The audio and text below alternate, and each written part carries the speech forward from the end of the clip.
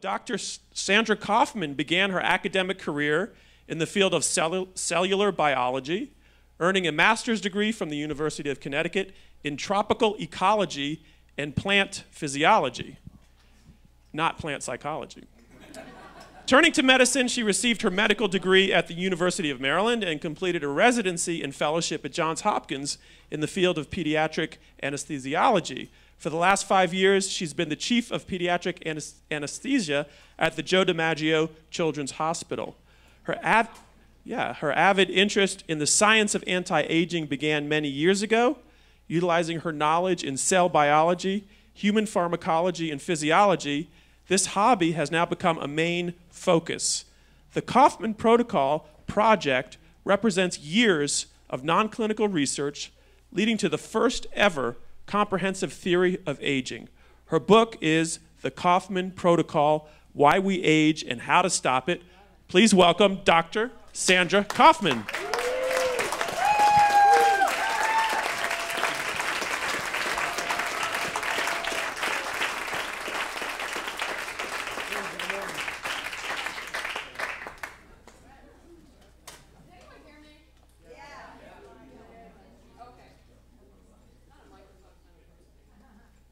Okay, number one, I want to thank everyone for being here. Uh, I learned about all of you people at RAADfest, which was a tremendous experience. Uh, I see familiar faces because people came to my booth and we chatted. And it was delightful, and I actually sold out, and I am just so thrilled to be here. Um, anyway, so in fact, what he said is correct. I am Dr. Kaufmann of the Kaufmann Protocol. Some of you guys are like, "What the heck is that?" And by the time I get done with this, you'll be like, "Oh, well, of course that's what that is." So the book is called Why We Age and How to Stop It, which is probably kind of a dumb title, but it's exactly what it is. I couldn't find another word for it. Why do we age? I'm going to tell you. How do you stop it? I got that too. So it's a very simple title. Um, I didn't realize I was going to get that great bio introduction, so we can skip this part. I was just going to tell you who I am, because you probably have no idea who I am. I am a physician, I was a cell biologist, and much like you guys, I really don't want to age. So what I actually So what I actually am, I'm kind of a bit of an adventurer. Um, and I realized many years ago that if I wanted to keep adventuring, I had to get rid of this nasty, pesky thing called aging, like all of us, right? I climb mountains, I swing from cliffs, my rock climbing partner is here. Uh, this is what I like to do, and I'm going to keep doing it. So, what I did many years ago is I decided, well, to figure this out. I'm not a researcher. I don't have the scientific equipment. I got a brain, I got a library. So I started reading, and I read thousands and thousands and thousands of articles. And I read through every scientific reason that you could age, and I threw out the ones that seemed like ridiculous. And I took the ones that were reasonable, and I put them all together in what I think is a very comprehensive theory of aging. Um, the other thing I wanted to do is I wanted everyone to be able to understand it. Like speaking in scientific doctor lingo, people look at you like you've got three heads, right? So I wanted everyone to be able to understand this. So I came up with a model, and that's what I'm going to explain to you tonight. Interestingly enough, and this probably does not apply to you guys, when you say aging, people think it's Botox and it's laser and all that sort of thing, at least in Miami. So people assume that they know what I'm talking about before I open my mouth. And the reality is, I always start with what it isn't, so that then we can get down to like what it is. And so what it isn't, it's not diet, it's not exercise, it's not weight loss, it's not hormone therapy replacement, it's not any of those things. What is it? It is a comprehensive interpretation of cellular aging, which I know that's code for this is going to be really long and boring. So I apologize for that up front. The key, however, is the cellular aging part. You are made of cells and cell products. And that's what causes you to age. So we're going to talk about cells. Hope that's not too boring for you. Secondly, it's derived from real science. I'm not up here to tell you about yoga or colonic cleansing. This is real science. And I like to talk about the hierarchy of evidence. Everything in this presentation started with is it working in a test tube? Does it work in a cell culture? Does it work in small animal models? Does it work in humans? Doop, doop, doop, doop, doop. So you'll see how that comes to play as I go along. Secondly, I talked about, we're going to talk about, I'm going to talk about unique factory model. You're going to understand what this means when I get there. Uh, and secondly, and most importantly, once you understand why you age, I'm going to tell you how to stop it.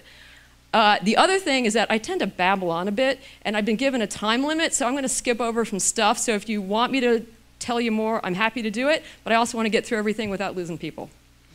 All right.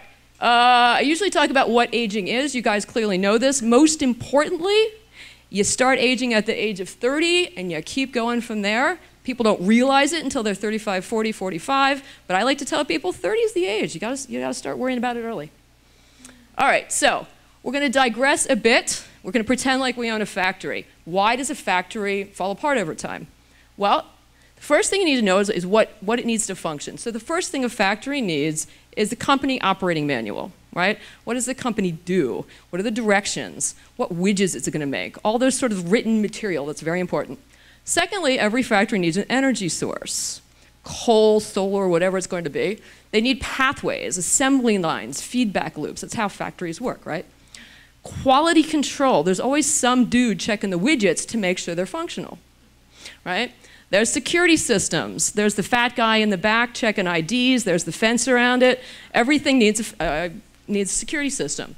Your workforce, that's your individual employees. And lastly, waste management, right? If you don't take out the garbage, the factory is not going to last. What does this mean to us?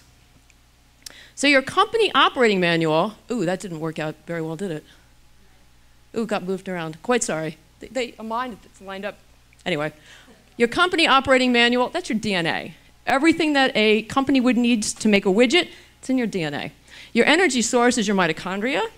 Your pathways are aging pathways. I like to talk about the big three. There are others, but the big three AMP kinase, your sirtuins, and your mTOR pathway.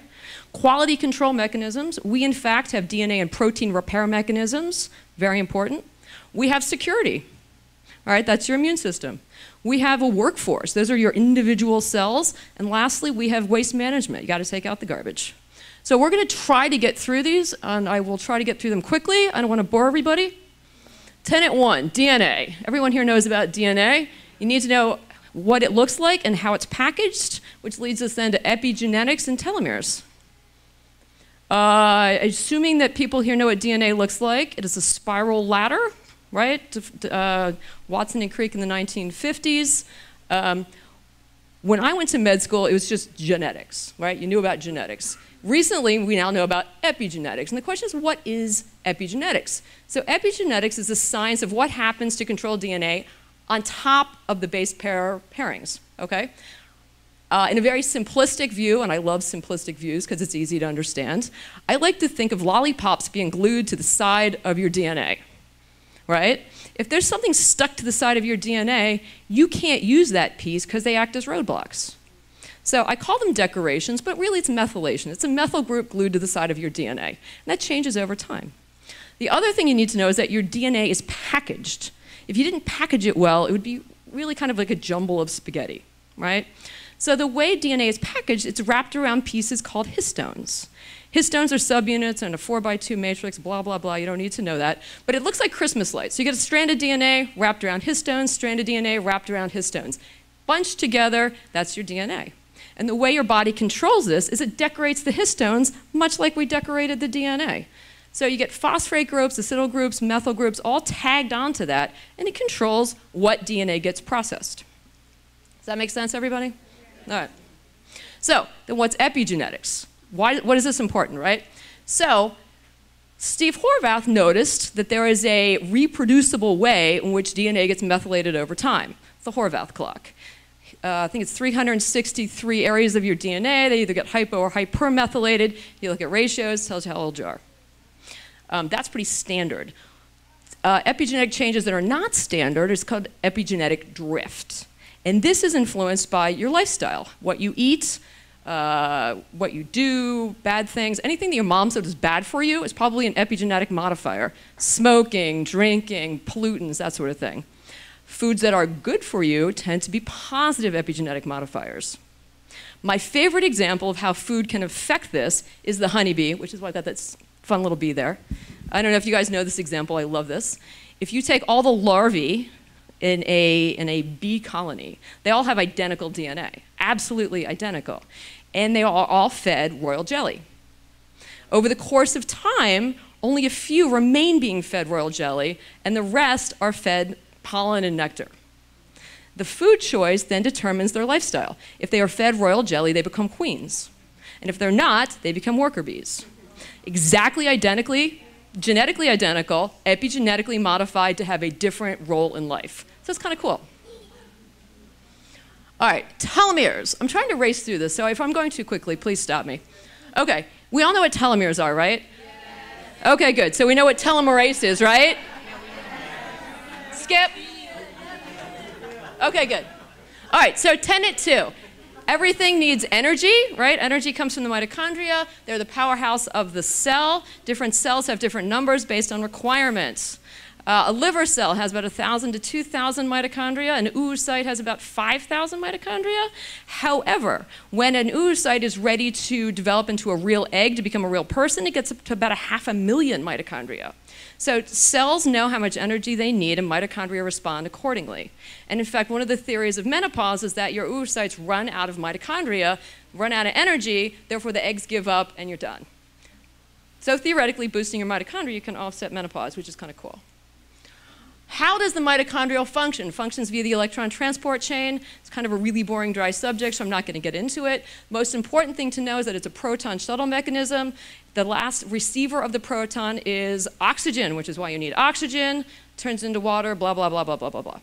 Importantly here is that 1 to 5% of this oxygen becomes radicalized, right? We all worry about free radical scavenging. This is where the free radicals come from.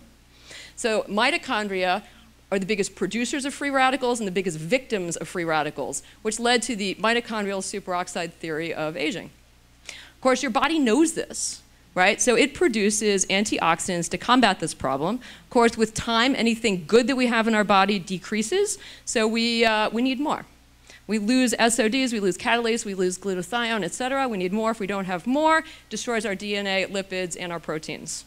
Um, if kind of a neat thing, catalase deficiency in the hair is thought to cause gray hair. Um, theoretically, if you could boost your catalase levels, you can, get, you can lose your gray hair. Uh, the other thing about mitochondria is one of the rate-limiting substances is nicotinamide. Um, everyone knows nicotinamide is a big deal at RAADfest, right? Why does anyone know why that's important? I'll tell you, just because you don't, and just in case you don't, rather. So your body needs it for four reasons. And the first one is right here. You need nicotinamide adenine, bleh, even speak, NAD, as a shuttle system in your mitochondria. Without nicotinamide, you can't make energy. It's why you're tired if you're nicotinamide deficient. As well, it is also a very necessary for communication via the OX-phos system between the mitochondria and the nucleus. Uh, it is a necessary coenzyme for sirtuin activation, which we'll talk about in a minute. Uh, as well, your body actually deconstructs it to put uh, pieces back into your DNA. So it's DNA repair. So without it, you're going to lose a whole lot of stuff. Uh, pathways. Am I zooming through this too quickly? I hate to. You're, you guys are good? Okay. So there are many aging pathways. As I said at the beginning, oh, you're so kind. Thank you. Um, I like to focus on the big three. We know about them from studies on caloric restriction. We know that skinny people do better than non-skinny people. Caloric restriction, by definition, is a 20 to 50% decline in uh, calorie intake without starving. And we know that increases uh, lifespan in many organisms. Uh, we'll skip quotes to save some time. All right, so sirtuins. Everyone knows about sirtuins, right? It's a silent information. No? All right, so I'll slow down here. Okay. So, sirt- might, might, as well cater to the crowd, right? All right, so sirtuins is the uh, silent information regulator gene. It was discovered in the year 2000. It was noted that yeast, if it had an extra copy, lived 30% longer. Conversely, if they lost a copy, they lived a lot less. Uh, they are, in fact, nicotinamide uh, requiring. It's a necessary coenzyme coenzyme for them to function. And they do extremely important things. They regulate the body's metabolic pathways. Uh, they promote different protein uh, systems. They increase antioxidant uh, pathways, and they facilitate DNA repair. That's very brief. Even briefer, we have seven of them. There are fewer in other animals. We have seven. We know the most about one, because that's why it's named number one, right? Uh, it's located in the nucleus. What I think is really cool about this particular sirtuin is it controls circadian rhythms. So as you get older and you don't sleep very well, it's because you have a sirtuin deficiency. By boosting your sirtuins, you will sleep better. Um, does other things as well, but that list will be repetitive sort of in a second. Uh, two is sort of cool. Um, it controls uh, mitosis. So if you are again sirtuin deficient, you don't have cell division, and that leads to problems. Uh, three is uh, three is kind of cool. It makes uh, brown fat. I don't know if you guys know white fat versus brown fat. We all want brown fat, right? Because you burn calories without actually having to do anything. So that's kind of fun. Uh, four, five, and six, nothing too exciting. I do like six though, because it uh, helps with your telomeres. And it also prevents diet induced obesity, which is one of my favorite things, because I uh, guiltily am a junk food junkie. But as long as I keep my sirtuins intact, I can eat whatever the hell I want. Confession, right? Uh, seven I threw on there because I had to, but I couldn't come up with anything else clever to put on the slides, so we're just going to skip that. So sirtuins, what happens with sirtuins? They're phenomenal. Unfortunately, everything good goes down with time, so our sirtuins go down in time. As well, the nicotinamide goes down with time, so it's a double whammy. Um, so what are we going to do? We're going to activate our sirtuins, and we're going to take more nicotinamide. Uh, the next pathway, AMP kinase. You guys know about this one? Okay. It is the adenosine monophosphate activated protein kinase pathway. That's kind of a big mouth, big, uh, big word. AMP is the opposite of ATP. So you've probably heard of it. ATP is energy, right? AMP and ATP shuttle phosphates back and forth. So if you have more AMP, you're energy deficient. So this system controls your energy. So if you have high amounts of AMP, your body's like going, oh my goodness, I need to find more energy. What's it going to do? So to increase ATP production, it looks for glucose. Puts glucose in your cells and it finds it in other places. It breaks down fat, goes everywhere it can possibly do, go to, to make more energy. The other really cool thing it does is it increases um, mitochondrial turnover. Recycling, right? If you had an energy car, or if you had a car that didn't have good energy output, you would get a new one that was more energy efficient, right? It's the same deal with mitochondria. You get rid of the old mitochondria, you get a brand new shiny one, more energy efficient, happens with AMP kinase. Uh, the other thing it does is it gets rid of things that suck up energy. So you don't make anything. You decrease fatty acid synthesis, steroids, glucose, proteins. Basically, your cells go into hibernation until the energy levels return. So what happens when you don't have AMP kinase? Uh, not so great things, right? Decrease in autophagy, which is the cell turnover, oxidative stress, inflammation, get more fat, that's never good, hyperglycemic, etc. Nothing's good with this. But can we activate it? Of course we can. mTOR, you guys know about the mTOR pathway? All right, so we're going to skip this. You know about this? No. People saying no. Okay. Because you, you, guys want to know what I'm going to say about rapamycin, right? That's where we're going with this? You can feel that in the air, right? Okay, so mTOR, mTOR is the mechanism target of rapamycin. It was discovered, rapamycin, on Easter Island in the 1970s in a, soil, in a dirt sample. Uh, it does exactly the same things that the other one does, but responds backwards. This is a building system. I call it the youthful pathway. When you are young and you need unbridled growth, this is what it does. Unfortunately, as cells get older and they get kind of grumpy and they don't function as well, if you activate the mTOR pathway, things become hyperactive in a bad way. For example, if the smooth muscle cells in your arteries, if they become overstimulated with mTOR, you get high blood pressure. If you activate osteoclasts in your bones, you get osteoporosis. You do it with platelets and you become hypercoagulable and you're more likely to stroke. Things that just are not good, right? So over time, this pathway becomes obsolescent. Therefore, blocking it could be a really good thing, right? That's why rapamycin improves longevity. Uh, as I said, um, it's from Easter Island, cute little statues. Uh, we use it in today's medicine world. We use it for cancer therapy. We use it for immune suppression after kidney transplants. And they use it in drug-eluting stents. Uh, they used it because it, uh, if you have a stent in your blood vessel and it becomes fibrotic, stent's not useful anymore. So it, blocks fibrosis. So rapamycin should be a really good thing. And in fact, it does have phenomenal qualities, right? Uh, stem cell losses, delayed cognitive decline, heart failure, liver, tendons, physical activity, sounds phenomenal. It's not exactly as phenomenal as, uh, as people want you to think.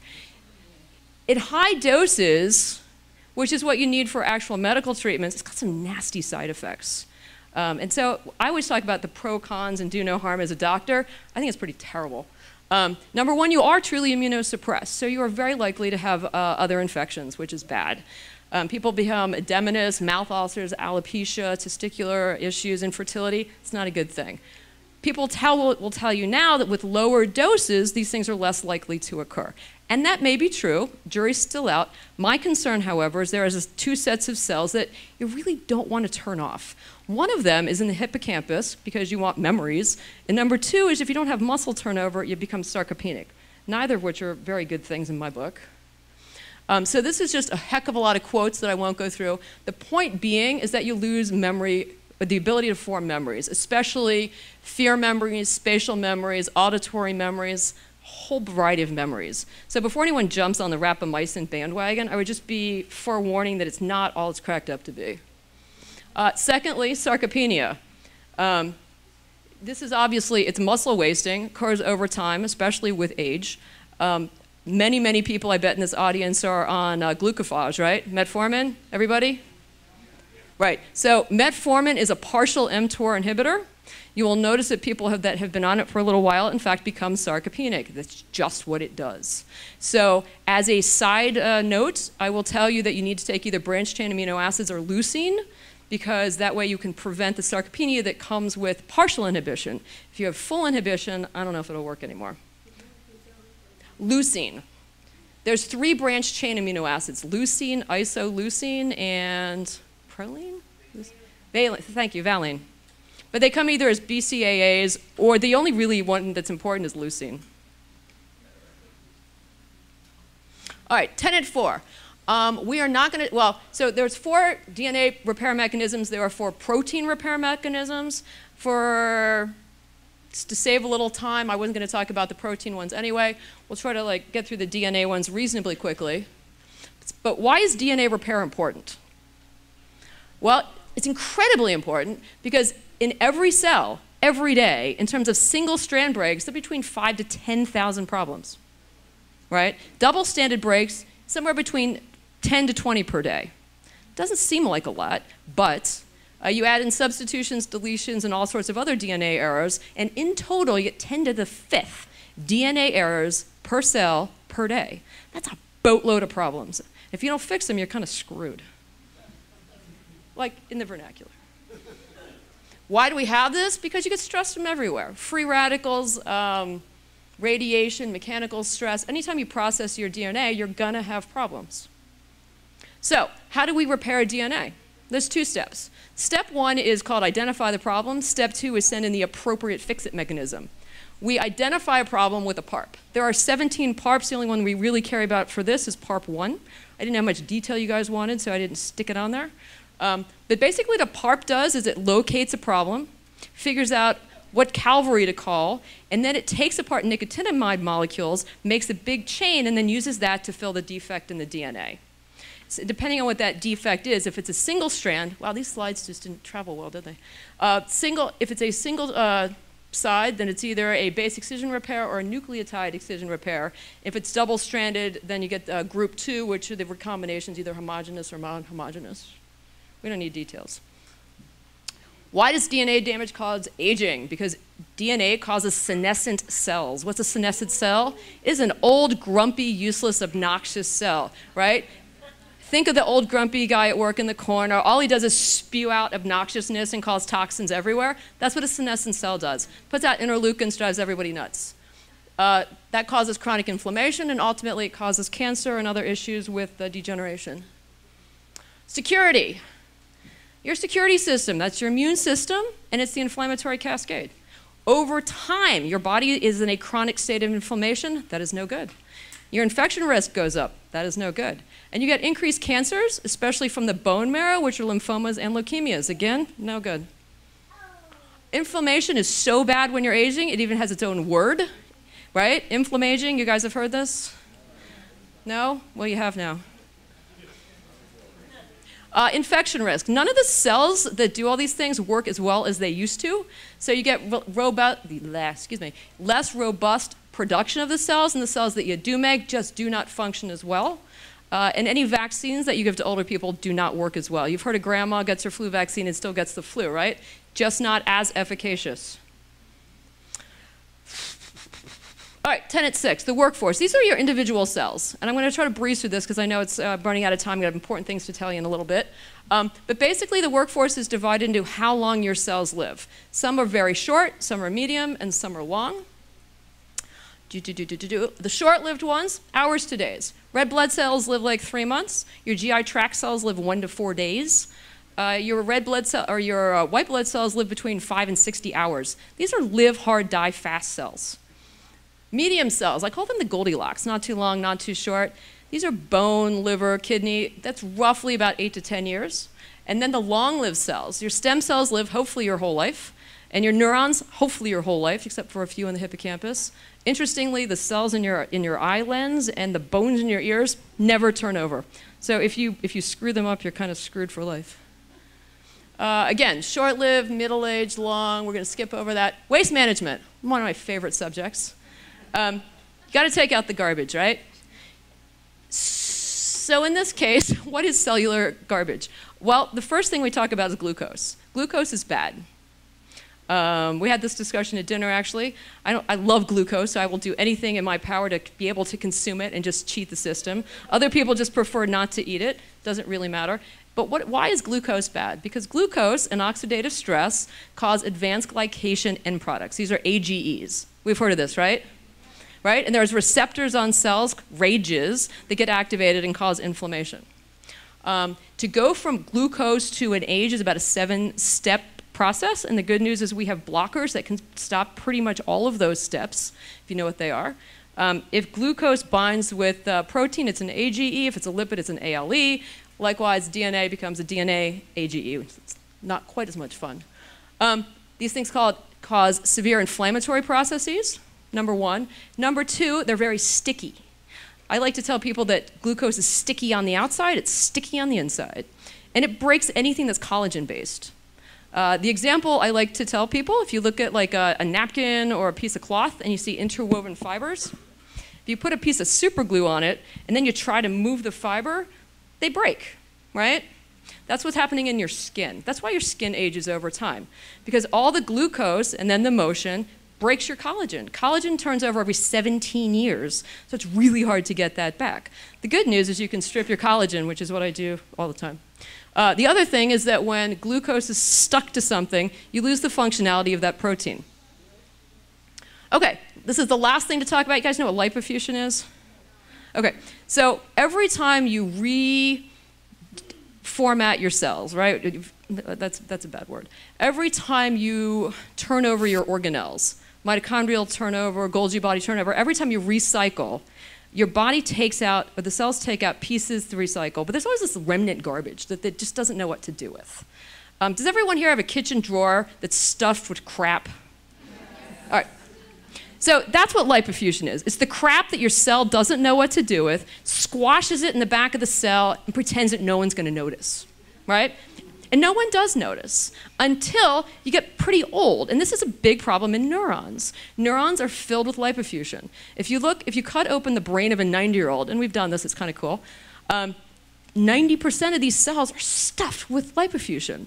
Thus, it's, you know, it's just, you just can't think. It's a, it's a problem. And, but it's interesting, it's not just us that this happens to, it happens to crustaceans. In fact, this is the way they, they age lobsters. You can count, you can look, look in their cells, look at their lipofuscin. It's how you, how you age all sorts of lobsters and stuff, which is why it's my cute little lobster there. Anyway, so summation of aging, DNA, energy, pathways, quality control, security, workforce, waste management. I may not have everything that we know about aging yet in this list, but I would guess that if something pops up, it will fit into one of these categories. So it's sort of a work in progress. All right, so now we're going to switch gears. I'm going to tell you what we're going to do about this. Okay? This is the fun part. I love this part. So this is a stereotypical prototypical chart that I would make for somebody. And it looks kind of crazy, but I'm going to explain it to you so that it makes sense. So the first thing you need to know is across the top where it says tenet 1, 2, 3, 4, 5, 6, 7, those are the categories we just talked about. Right? So that should all be kind of familiar now, right?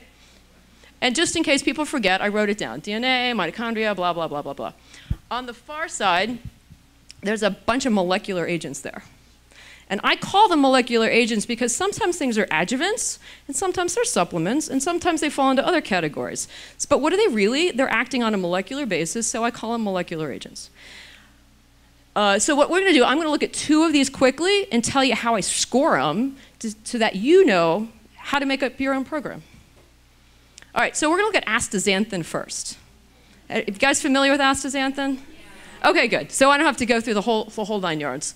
Um, the goofy number underneath of it that I call the Kaufmann rating number is simply because I rated it. Someday I will be not so famous for that, but that's my plan. So what does this number mean? If it's a zero, does nothing in the first, well, actually, so you guys understand there's seven numbers there, right? They correspond, of course, to the seven categories. If it's a got a zero in that category, did absolutely nothing. I searched, every, I searched everywhere, high and low, every research place I could find. I, I spent years doing this. Got a zero, there's nothing, right? Best it can do is a three. It means there's human evidence, efficacious, fabulous, does a great job. It's a one and a two, somewhere in between, okay? So if you look at this, you'll notice that it does nothing in the first category. And in the second category, which is mitochondria, it rocks, right? Further down, you notice that there's a two rocks in that category as well. So, oh, we can skip this because you guys know it's the red stuff in all the marine world, blah, blah, blah, blah, blah. If you're ordering salmon, get it red because it's got more astaxanthin in it. All right, so that was a small aside. If you go to the grocery store and it says um, artificially flavored, it means they fed the fish astaxanthin. It's cheaper and it's better for you. Little tidbit. Uh, okay, so tenet two we talked about it, mitochondria. It rocks. It is an incredible free radical scavenger. Uh, it recycles in your body every 24 hours in the cell membrane, the outside cell membrane, as well as the mitochondrial membrane. As well, it also uh, increases your own endogenous production of uh, scavengers. So this stuff is phenomenal, and there's absolutely no side effects. That's category uh, two. And then category five, it's phenomenal in the immune system reduces uh, nuclear factor kappa beta, which then suppresses all the interleukins, which is pretty amazing. It's a COX-2 inhibitor, which is pretty cool because the rest of them were taken off the market for cardiovascular disease several years ago. Uh, blah, blah, blah, blah, blah, blah, blah. What does it do clinically? Ah, it's so cool. Japanese love astaxanthin. Every culture has their own particular thing that they like. Japanese love this. There's so many Japanese astaxanthin studies. It's great. Anyway, in 2009, they gave, uh, was it six milligrams to uh, a bunch of people for one month. 60% had better vision. That's pretty damn cool, right? Skin. If you slather the stuff on your skin, you look younger. You just do. You look a little orange sometimes, but small price to pay, right? Terms of fitness, it increases your exercise capacity. I give this stuff to rock climbers and they love me forever. It's amazing. Uh, it also decreases the DNA and protein damage that comes with exercise and it prevents the free radicals that you accumulate with, with uh, exercise. Because if you exercise, you're using up more oxygen, you get more free radicals. That's why some researchers are lazy schmucks and they're like, oh, I wouldn't want more free radicals. Eh, but it's a solvable problem. All right, the only other one I'm going to talk about is carnosine because it's my absolute favorite. Um, Again, now you will see that the KRN is the Kaufmann rating number, right? Now we're all got the lingo going. Useful in two categories, as you can see. The key here is that one of the categories is the same, but the last one isn't. Because different agents have different properties, right? Carnosine's kind of cool. It's a dipeptide. It's present in all muscle. All animals have it. There are three forms. We only have one. I don't know why. The amino acids come from your diet, especially chicken. Uh, the whole like uh, eat chicken soup when you're sick works because of carnosine. If you're a vegetarian, you better take some carnosine because there isn't any in vegetables. Um, the amount varies with your age and your gender. If you are younger, you have more, and if you're a guy, you have more, which I never thought was fair. Um, this is the coolest experiment ever. If you take human fibroblasts that are old and grumpy, and you put them in a bath of carnosine, they become juvenile again. It's the coolest thing in the world. This was described by a bunch of Australian scientists. blanket on the year now. Uh, I'll come up with it in a minute. Anyway, if you take the cells out of the bath, they become old. You put them back in the bath, they become young again. So, in fact, carnosine can make cells live longer and better, and the study demonstrated that you can increase their turnover or increase the ability to turn over by dividing by 25%. So, that's pretty damn cool. So, carnosine. Second tenet, uh, mitochondria does pretty much the same thing that astaxanthin does. Waste management, for this one is particularly important because it blocks AGE production. There's that nasty stuff that ruins your skin from the glucose, you can block it, which is pretty darn cool. Some evidence that you can even reverse it. Not going out on a limb on that one, but there is some evidence that it can. Uh, clinically, if you are on carnosine and you go to lots of uh, loud rock concerts, it'll protect your hearing. I give it to my kids because she plays in a rock band. Um, if you take it via eye drops, you can reverse presbyopia. Presbyopia, the inability to see up close, that is glycation of your lens, makes it more stiff. By reversing the glycation, you can read again without glasses. I know, ooh, right? Um, makes your skin better too. All right, so I have rated 30 some agents in this manner. It took me a hell of a long time to do. But there it is. And it's kind of blurry so that you guys can't cheat and steal it. Kidding. I don't care. I'll mail it to anybody. I don't really care. Point being is that there are a lot of options out there. And everyone here is on a different protocol. And that's okay. But you need to be on a smart protocol. Right? It's really dumb to peak, take seven things in one category and nothing in another. So, based on the numbering system, and this is what this is now, you take your agents, you line them up, and you count the numbers right? And several things, like you, you ask yourself, okay, well, how avidly do I want to pursue this? Well, that will tell you how many numbers you want at the bottom. And you will need a balanced list. So this is a pretty generic list that I've given to someone, and several things. There's, there's stuff in every category, so that's balanced. But if someone were to say, well, what else should I take? I would say, well, you know what? Category six is a little bit lower than the rest of them. So if I was going to add something to this, I'd go with something for that. The idea is a balanced approach. All right, so I have had, I don't know, dozens, dozens, I don't know, I've lost track of people on my protocol, uh, and I've gotten tremendous feedback. Uh, my rock climbing partner is one of my first victims ever. He likes to think of him my, my king guinea pig. Um, people have higher energy levels. No one gets sick anymore. I work in a kitty hospital. Everyone's like, it's like living in an agar plate. No one gets sick. It's pretty impressive. People's hair is better. Their skin is better. Their vision is better. They don't worry about the weight anymore, it just drops off. People say their joints don't hurt anymore. It's really cool. And, you know, even better, people say their sex lives are better. That, has got to be a good thing, right? So, how do you choose a protocol? Well, hopefully, I've given you the tools to do this yourself. When people come to me, I say, Well, how old are you? Do you have any medical issues? And how avidly do you want to uh, pursue this? Because you're different at different ages. We all like to pretend that we're all the same, but we're not. When you're 35, you got DNA damage to worry about. You got epigenetics to worry about. When you're about 40, you start losing your endogenous antioxidants. That's a problem, right? Your sirtuin levels start declining. Your vision starts going, and you get fat, right? When you're 90, when you're 90 maybe you're no longer preventing stuff, but now you've got a whole boatload of things to treat. But it's certainly plausible to do. My favorite medical condition, diabetes, I tell all of these people they just need to fix their AGEs. That's the biggest problem. So when I make a protocol for people with diabetes, I load waste management. People that have inflammatory issues, I, I, I load the security system. So depending on what people's problems are, as well as aging, we load that category. People love this. Uh, again, age, lifestyle choices, degree of commitment. Um, so what normally happens is people go, oh, can I come to your office? And the answer is no. Um, I'm a pediatric anesthesiologist. You guys are now officially disqualified. You're not pediatrics. Um, that being said, there is a book explains all of this. Uh, I would suggest reading it with a magic marker and, or a highlighter because there's a heck of a lot of information in there. Um, if you want the cheat version, you can go to the website. If you really don't give a rat's ass about why it works and you just want a protocol, you can download the app. The app will ask you what you want to do and it'll tell you what to take. And then it tracks your progress, so that's kind of fun. Um, lastly, you can just give up and ask me. That's, that works too. I get a lot of emails every day. Uh, let's see, citations, citations, questions. I made it to the end.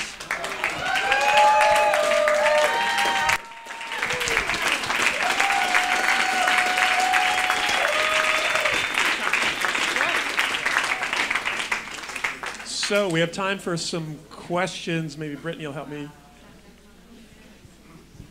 It's probably too overwhelming, right? Too much Uh, stuff.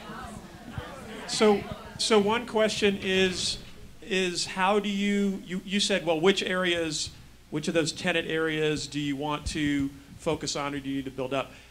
How do you determine that? Is that something you, is that, how do you determine that? Like if I, if I was, if you were to ask me that, how would I, how, how would I know the answers to that? So most disease processes are a failure of one of those departments, and whereas you might not know what it is, I do. Based on some condition that someone has? Yeah, exactly. So neurodegenerative stuff tends to be repair mechanisms from the progeroid syndromes where people get old really fast. Um, if people have particular issues with skin, if you can look at their skin, you can tell if it's an AGE problem or a lipofuscin accumulation problem. Um, clearly, the diabetes is the easiest example, which is why I use it. But usually, every disease falls into one of these problem categories. So it's based on sort of symptoms and Yeah. conditions. And if it doesn't, then we just give you a balanced uh, program. Yes, sir. Yes, amazing, first of all. Um, protocol is based mostly on supplementation, or is there like lifestyle choices, exercise? I mean, is there other things that So you missed the first slide. I'm kidding. Um, so the answer is I don't want to tell anyone what to eat and to exercise.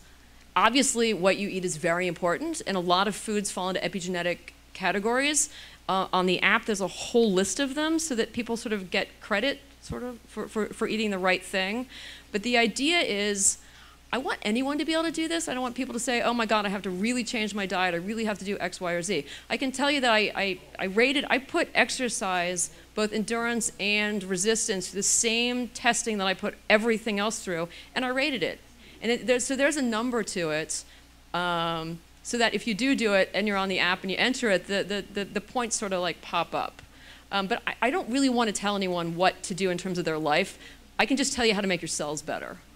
And so the answer is uh, yes, it's all, it's all supplements and adjuvants because it's all molecular manipulation. Cool. Thank you.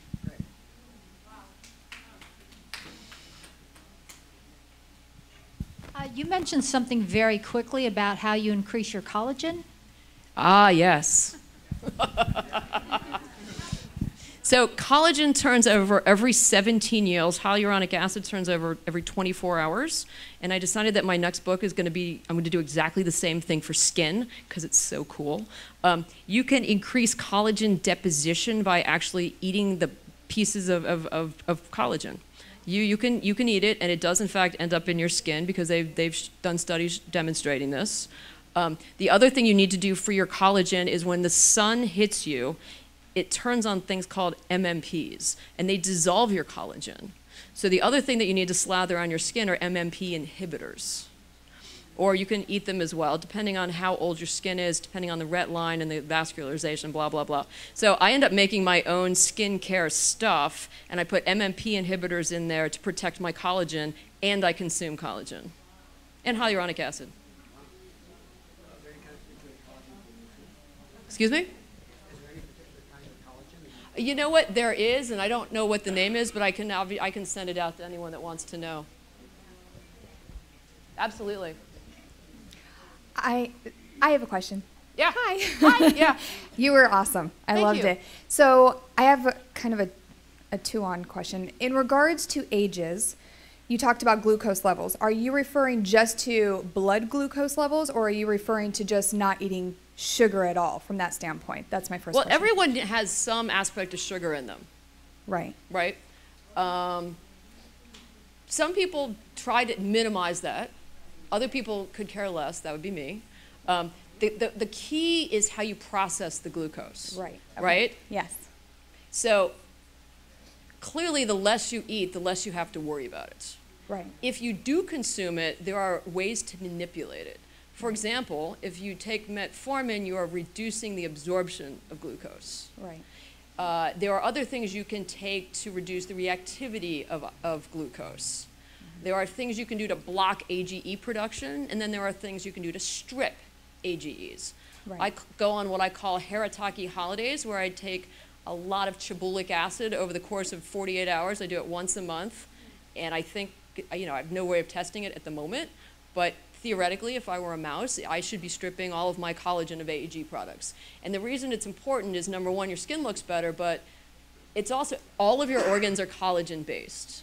So people to say, oh, I got old and I got heart failure, and they don't have cardiovascular disease. It's because their collagen is failing just over time from AGEs. Correct. Okay, and then I'm not just sure if I answered your question, but yes and no. More or less, just want with the the blue the blood glucose level because you said glucose level, so I just wanted Right. to. Well, no, it's if in your- somebody would right. So it's in your blood, them. right? Yeah. I mean that's right, and it goes up and down, theoretically controlled with your insulin levels, et cetera. Right. The real thing that you want to measure is hemoglobin A1C because it gives you a three to four month look at how much how you're doing. Perfect. Um, last question, just as a follow up in regards to that, is they have also, just based off of research, that depending on how you actually cook your food could be worse in regards to developing or creating ages in the body, especially on how you cook your meat. Oh, that's absolutely true. Okay. There is So an wanted to put entire giant section in my book about that. Right. Um, and it does. It tells you how to how to cook things, how not to cook things. Right. The slower, lower temperatures are better. Um, yes, you're, Okay. you're absolutely correct. Two thirds of the AGEs in your body actually come from from food and or smoking. Um, and you, I forget exactly the percentage of what sticks and what doesn't stick, but you can get rid of those in the same way that you get rid of your own endogenous ones. Perfect. Thank you. Of course.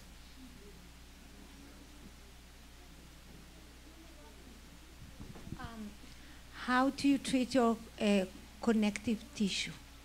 So connective tissue is what we were talking about. It's all collagen based. Is the collagen? It's all collagen based. So, so the answer is you eat collagen, you take hyaluronic acid, Hi- yeah. you, you block the MMP inhibitors, and you block the ages. And when you said it uh, about the sugar, if you eat bread, it became sugar in the body. So it's the same. It's the same thing. Okay, thank you. Over here. When you had the uh, rapamycin slides up, you mentioned metformin real quick, Uh-huh. but I missed your point regarding that in, that in that moment. Why did you mention metformin? Oh, because metformin is a partial mTOR inhibitor. So it's, it's sort of like taking rapamycin watered down. My point is that everyone is on the rapamycin bandwagon right now. At RAADfest, everyone was like pushing to take rapamycin. I thought, I don't think that's a great idea.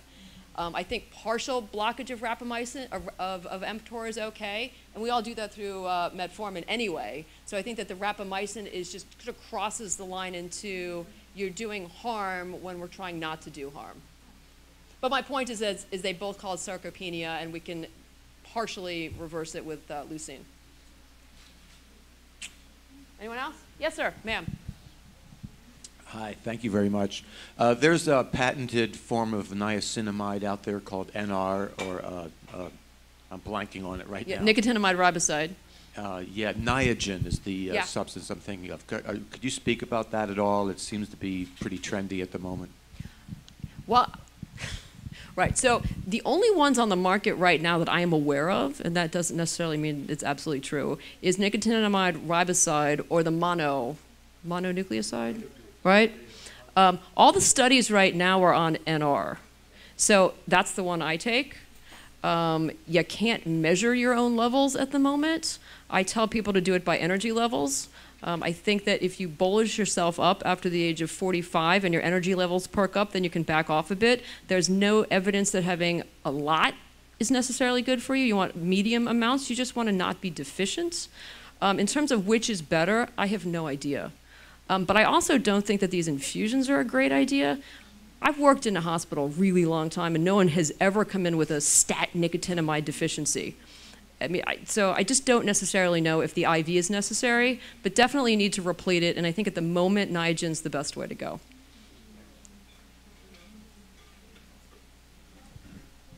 Thank you so much. Thank you. Um, a lot of us have hypothyroidism. So, can you address that? The problem with hypothyroidism sort of depends on why you're hypothyroid. Uh, there, there are very, there's a wide range of reasons. If you are recently hypothyroid from cellular failure, there is a chance that you can fix it once you get your cells revved up. It is, if it is a mu- immune problem and you've destroyed your thyroid, then you can't. Um, so it depends on length of time and etiology. Like I can't fix a problem that's been going on for 40 years. Um, but some hormones that sort of start failing are secondary to cell failure with age, and those we can theoretically reverse. So take your, take your Synthroid. Anybody else? Going once, going twice? Awesome. Okay, thank, you. Thank you you, so everybody. much. Great job.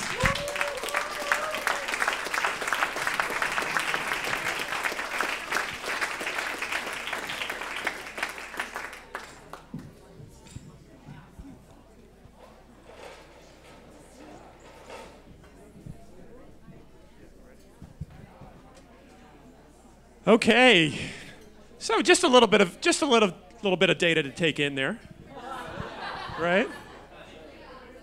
Just it just yeah, it just filled in a couple gaps for me, just a couple things. But we're not done yet because we have one of our favorite, often traveling, shh, shh the power of shh. I'll write the book. I could write the book on the power of shh. So, we have one of our favorite, often traveling members of People Unlimited here to give us an update on what he's been up to, Dr. Bill Andrews.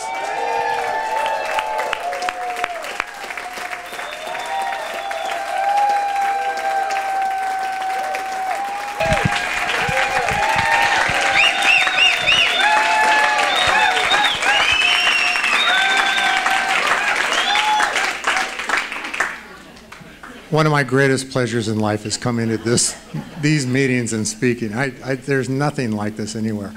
Um, just, I want to start off with not talking about my background. I just want to talk about Sandy's talk just now. I mean, that, her book, everybody's got to go to Amazon.com, or you actually showed a different site. So Amazon.com and buy this book because there's nothing like it. Okay, now, she was at RAADfest, and I was so busy at RAADfest, I hardly had a time to even introduce myself, talk to her for maybe a total of five minutes on two occasions. But I took her book, and I read it, and it blew me away. I have never seen any book like this.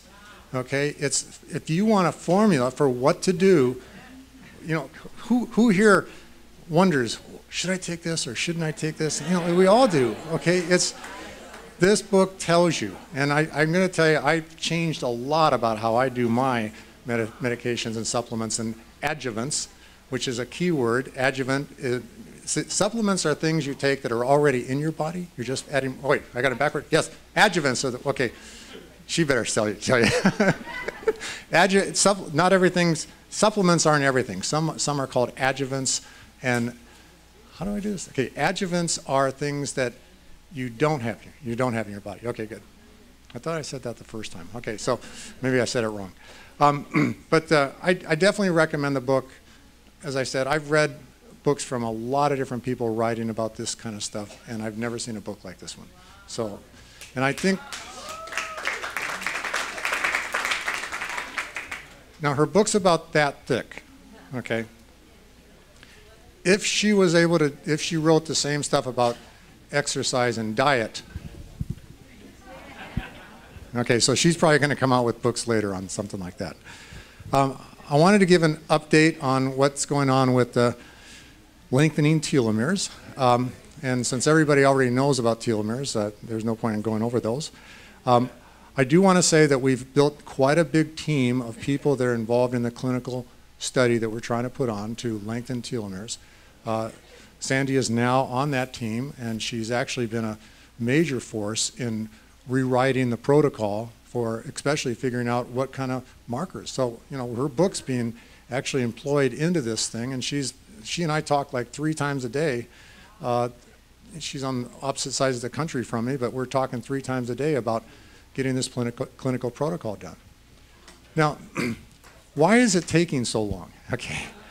Uh, there, there is a tremendous.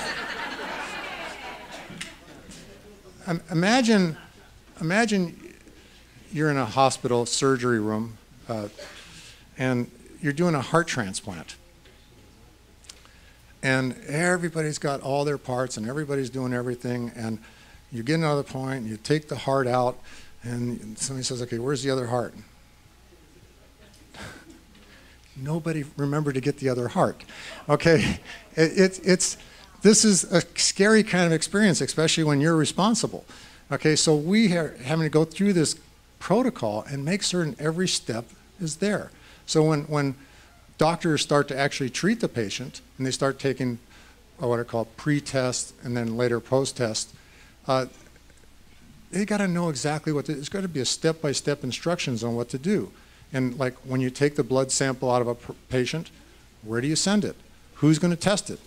This is incredi- incredible amount of work. And plus, there can be so many errors, like forgetting to get the heart, where the person, the patient, could end up dying because we didn't plan it well enough. Okay, so this is turning out to be a major part of this clinical protocol, just trying to get the protocol written. And Sandy can tell you, she and I have been just on conference calls, talking to just one another, just trying to get this all figured out. Uh, and the team gets, keeps getting bigger because we keep having to add new people to the team when we find deficiencies. Uh, and then, like even just yesterday, I was driving to work and I went into a panic. I thought, oh my God, we don't have any step figured out for step such and such, you know. And so I get to work and I start talking to my scientists. We got to get this going, and so, and so we're working on that. But that's that's why it's taking so long. We can't seem to get it perfected to my and other people's satisfaction. Okay, and as soon as it's ready, then we're going to treat the first patient. First patient is scheduled for uh, mid-January. Um,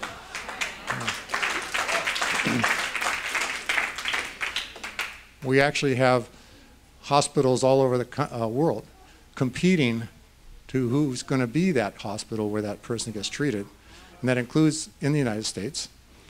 Uh, and so things things can happen soon, and I just can't wait. I mean, I'm I'm in this because of me.